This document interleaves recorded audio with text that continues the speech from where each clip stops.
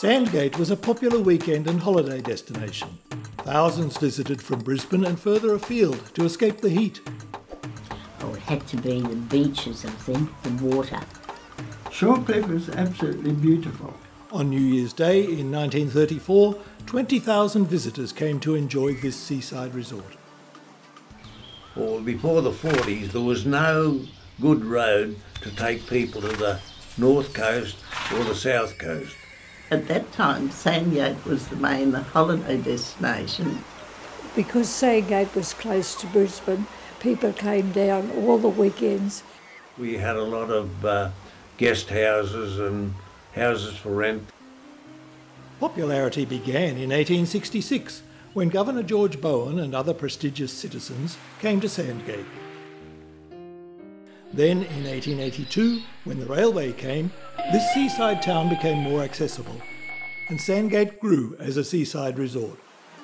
Shorncliffe was very, very popular before the war, I think. We had camel rides, donkey rides, billy goat cart races, big dogs pulling carts. Uh, you couldn't get blanket space on Sandgate, Shorncliffe Beach or the creek because of the number of people that used to come off the trains from 6.30 onward. Sandgate was a popular picnic destination with charities and companies organising their annual picnics, many coming by train. They were huge events and they usually took place annually. And they had little races. And there was the RACQ picnic. They used to bring the children too. Cars were all decorated and they'd all go down to the wading pool where the swimming pool is now.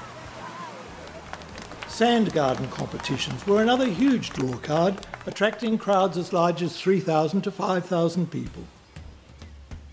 Sandgate's popularity waned when the Hornibrook Bridge to Redcliffe opened in 1935. Yeah, once the Hornibrook Highway was built, they were able to spread their wings and go to Redcliffe. Could be anything up to 20 buses going to Redcliffe and Scarborough and other places from the train. While Sandgate's heyday may have passed, it has remained a popular seaside destination.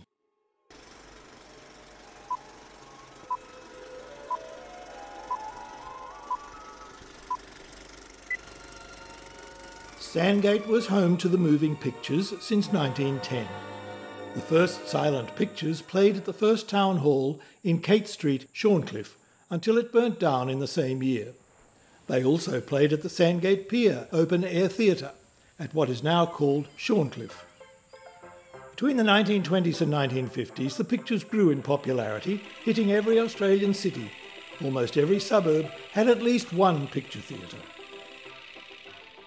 It seems strange when you think about it that a small place like Sandgate having four theatres. The theatres were just about the main entertainment. There were a lot of lovely movies at that time. I went to the picture theatres every Saturday afternoon, and favourite movies was um, at that stage was anything with Roy Rogers and the Phantom cartoons. So you couldn't miss the cartoon. So we went every Saturday. Bon Accord Theatre, built in 1922, was the first purpose built picture theatre in Sandgate. First screening silent movies accompanied by a piano and sometimes a four piece band. The Jazz Singer, released in 1927, was the first talkie. The theatre stood on the corner of Rainbow Street and Hancock Street, Sandgate, where the service station now stands. It was a long, low building with an impressive facade and foyer. But in the theatre itself, it had a dirt floor and no ceiling linings. George Hancock owned the theatre. He closed it for major renovations in around 1932 33 and moved his operations temporarily to the Beach Theatre on Flinders Parade. When the Bon Accord reopened in 1935, it was more popular than ever. In 1960, the theatre closed permanently. Uh, the Bon Accord was much larger, a much larger and better theatre. Um, the Bon Accord, as I got older, I went there probably more often because I, we had a permanent booking. And you could do that in those days. The Bon Accord Theatre was in joint operations with the Strand. Instead of having to buy four sets of reels with the movies, they'd only get two. So they'd have about six or seven reels. Then they put them in metal cans, and they're fairly heavy to pick up when you looked at them. So the boys would have to get on their bicycles and ride like mad in between the two picture theatres to exchange the reels of film. The Felix opened in Pier Avenue, Shorncliffe, also operated by George Hancock, owner of the Bon Accord. In the 1930s, it was closed for renovations and then renamed The Strand. It closed its doors in 1959. The building was moved to Northgate and became Mansell's Furniture Factory. The Strand was nicknamed a hen house. There might have been a few bird lice from the pigeons nesting in the rafters up on top. When it went to CinemaScope, the screen was wider, so the curtains wouldn't go back far enough. So the owner of the theatre used to employ a schoolboy to climb up in the rafters to push the curtains back. But even funnier was on a Saturday matinee, all the rest of his mates in the audience with their Shanghais and try and ping him when he was up in the rafters moving the curtains. The Beach Theatre opened in 1924, making it the second picture theatre in Sandgate. It was on the corner of Flinders Parade and 3rd Avenue. It had a large gallery and a stage complete with curtains. The ceiling was timber lattice. The walls had large lattice windows for ventilation and heavy curtains for matinee sessions and when it rained. For several years, a large searchlight was mounted on the roof to attract cinema goers. George Hancock operated the theatre in the 30s when the Bon Accord underwent major repairs, but then the Beach Theatre closed. Around 1938, the artist Ian Fairweather lived there as caretaker. Then in 1948, the Hamer family, previous owners of the Mayfair, operated the theatre. Then the building was leased to the Police Citizens Youth Club. On the 13th of April 1978, it was completely destroyed by fire. We had a theatre down on the beach called the Beach Theatre, which uh, it finished up a skating ring and various other things. When we moved to Third Avenue, my mum's dog, George, and he'd sneak into the movies and sit in the aisle, cross his paws and watch the movies. Mr. True, he was the chap on the door. He was determined to get George out, so he turned all the lights up. And he hunted George. And while Mr. True was going down, George was going up, sort of thing, and vice versa. So in the end, he had to give it away and turn everything off and start the movies. And George had come out and cross his paws and watch the movie. The Mayfair opened in 1934 on the corner of Brighton Road and 2nd Avenue and was the last theatre to open in the area. It was a small, cosy theatre with the best sound. The owner, Francis Hamer, excelled at giving his patrons the best cinematic experience, installing a high quality photophone audio system. It was a popular theatre and was greatly missed when it ceased operations in 1947. It then became Lacoste Shirt Factory in 1948, then Bayards from around 1962 to 1982. The Mayfair was in the amongst the shops. A whole group of us used to all go, either Saturday afternoons. Uh, that was probably the poshest theatre we had in Sandgate. The building was demolished in 1985 removing the final evidence of a thriving movie going pastime in the Sandgate area. The growing popularity of television saw the demise of picture theatres throughout Australia. They went into decline then because we, we had a Boondall, we had a drive-in theatre and people used to flock to that then fill the boot up with people and then let them out once they got inside. Fellow Australians, it is my melancholy duty to inform you officially that in consequence of a persistence by Germany in her invasion of Poland, Great Britain has declared war upon her, and that as a result, Australia is also at war. Well, I can remember the, the night that uh, war was declared. I was 10, I Haven't sort of got any bad memories of World War II. Actually, they were sort of all good memories, really. A Royal Australian Air Force training base was built on the reclaimed land just south of Decker Park in Brighton. It opened around July 1941. It was primarily a training base for the RAAF and the WAAF. Many thousands of Australian Air Force personnel went through its training base. It was an, Air Force base during the war because that's where my brother left from. He was a Lancaster bomber pilot and he was killed in the last raid. The Australian soldiers used to practice through the bush and they'd come into the shop and buy things because they only had bully beef and dog biscuits, as they called them, for rations. On the 18th of April 1942, at 5.45 in the afternoon, a large Flying Fortress bomber force landed between the base and the Hornibrook Bridge. Bringing much excitement to the tranquil lives in Sandgate during the war years, many locals gathered to watch the bomber take off a few days later at 4 o'clock on the 21st of April. We, we didn't think he was going to get, get enough height out of the flight, but he got up to about halfway across the Hornibrook Highway and dipped his right wing and he went around and never stopped climbing. We never saw him again. Sadly, on the 15th of July 1942, two pilots plunged to their death a mere half mile from each other. The first was on that fateful morning. Uh, eventide again. Early morning, I was fishing on the Sandgate Pier, playing hooky from school. Uh, Airacobra came around and he looked as though he was practicing staffing and he was coming around on, the, on one wing. And I said to myself as a lad, I said, he comes around once more, his tips, wing's going to hit, hit one of the waves and he's going to turn turtle. And sure enough, he went around and whopple, he rolled over and over. Then, in the afternoon, a pilot on a practice alert run. We heard this whining noise, saw him drop out of the clouds and, and uh, suicided right into the area beside where his mate was. We found an old wing off the first plane and we cut it up and took it home and I had a piece of it nailed on my wall, bedroom wall, for I don't know how long as a kid. The last parade was held at the RAAF base in 1946.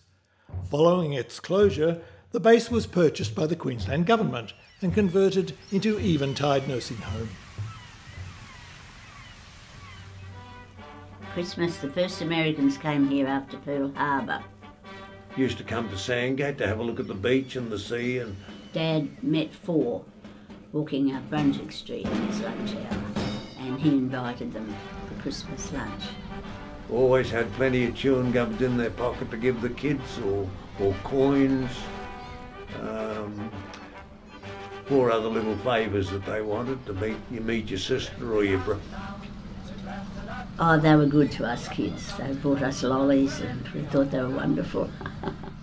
During the war years, changes for many Sandgate residents included building bomb shelters and slit trenches, as well as the weekly air raid practice. Well, the slit trench was a, a zigzag trench. In case we had a, an air raid. Pupils dug their own slit trenches. At the convents. we'd all have to file down there and crouch down in the trenches with the hands behind our head. And I think we must have put the pegs in our mouth to stop biting our tongue. We had air raid practice every Monday, I think it was, the sirens would go off. And you could hear it all over Shorncliffe. But there was one genuine siren. One of the teachers, she burst out crying because she was afraid of all the children. I can remember the nuns walking up and down praying. If, if the Bromers had come over, well, they sure would have found us very quickly. but it was a false alarm after all said and done. the Japanese weren't coming. Rationing began in 1942 to ensure the fair distribution of food and clothing. It was managed through coupons. We swapped coupons for um, butter from Grandma, and Grandma took our tea coupons and things like that. Clothing, there was plenty of clothing coupons because, you know, the, uh, the hand-me-downs and that sort of thing that went on. I was tall, so we got a, the tall people got a few extra coupons. I used to go up and buy tobacco with a ration ticket for my father. Fellow citizens, the war is over. The Japanese government has accepted the terms of surrender imposed by the Allied nations, and hostilities will now cease.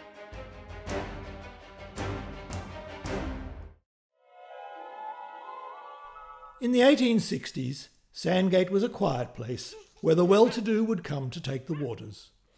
A group of visionaries believed Sandgate would be an ideal port town. They formed the Sandgate Pier Company in 1865. They petitioned for a provisioning pier for passengers and cargo, as well as being a leisure pier. Sandgate never became a port town, and a provisioning pier never eventuated. However, by 1884, an iconic pleasure pier had been built. First, the Sandgate Pier was only 260 metres, but ferries couldn't dock at low tide, so it was extended to 351.5 metres. The pier included separate gents and ladies' baths. In the 1930s, a shark proof enclosure was built between the pier and the stone wall. We used to go down there to the jetty, as they call it. Because the Penny Arcade was up there, the pier was up there, and there was lots of places to play. And you could spend the whole day there. If you wanted to go on the pier, it cost you a penny. We'd go walking or fishing out on the pier. You used to swim in the enclosure. Men one side and women the other. Typical of seaside resorts of the time, there were tea rooms, kiosks, and a penny arcade at the entrance to the pier. There's a room on one side to have afternoon tea, and on the other side of the pier there's a little place if you wanted to buy an ice cream. You can still taste that ice cream. We had a big covered in penny arcade at the commencement of the pier. It was lined with machines. If you put a penny in, you could see movies or you could play games, and, and people flocked to them. Where they had punching bag, electric shocks, uh, grabs, cricket games. I can remember going to the penny arcade, but I was so little then and can't remember much more than putting the penny in and having things fly around. The Brisbane to Gladstone yacht race, which started at Woody Point Jetty in 1949, moved to the Sandgate Pier in 1955. It has been there ever since. And I would have gone up there to watch the start of the Brisbane to Gladstone yacht race. It used to be televised in the early days, so you could watch it at home when television came in. The pier was closed in 2012 due to damage caused by marine borers. In 2016, the much anticipated new pier opened, replicating the architect F.D.G. Stanley's original design. The Sandgate Pier, or Shorncliffe Pier as it is now known, continues to be an icon and a nostalgic connection to our past, and beyond to a time when the original people lived here. Before the concept of holiday resorts and pleasure piers touched these shores, the Turrbal people called their coastal land Warra, an open sheet of water.